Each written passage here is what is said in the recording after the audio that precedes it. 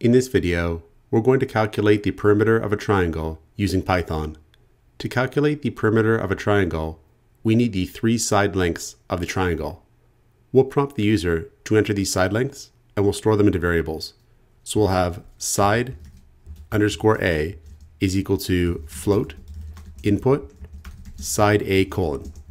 We'll also have side underscore B is equal to float input side B colon.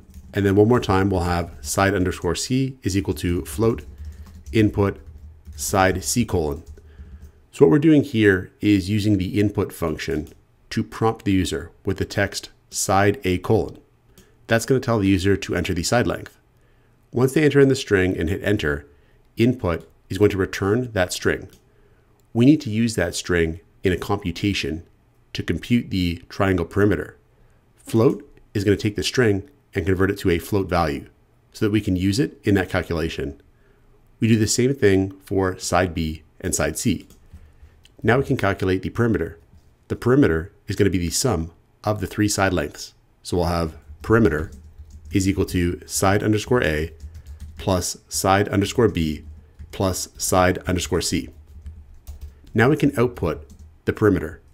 We'll have print perimeter colon and then perimeter. So what we're doing here is printing out the text perimeter colon followed by the computed perimeter value. We can save this and try our program out. So we'll have python d.py, and then we'll enter in 10 for the side A length, 5 for the side B length, and 6 for the side C length. And we get a perimeter of 21, which is correct. We can run our program again, and this time for side A, I'll enter in 1.333333. For side B, I'll enter in 2.444444. And for side C, I'll enter in 3.777777. And the result we get back has a fair number of decimal places of accuracy. We might not actually need this many decimal places of accuracy. We could use the round function to round down the number of decimal places of accuracy in our result. We could pass the round function, the result of the perimeter calculation as the first argument. And as a second argument, we could pass the round function the number of decimal places of accuracy that we want. So I'll have four because we're going to say that we want four decimal places of accuracy. We can save this and run our program again. And we'll put in the same three side lengths as before. So I'll have 2.444444 and 3.777777. And now our perimeter result is rounded to four decimal digits of accuracy.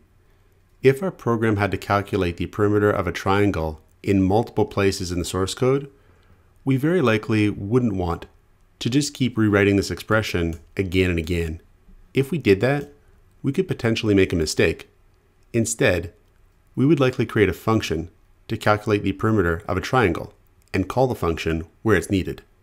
Let's actually make that function. So we'll copy this here and we'll have our function up here. We'll have def triangle underscore perimeter. And the function will have three parameters, A, B, and C. For the side lengths, A, B, and C. And the function will return this expression, but we'll replace side C with C, side B with B, and side A with A to match the parameter names. We'll then call the function down here, and we'll pass it side A, side B, and side C. So we'll have side underscore A, side underscore B, and side underscore C.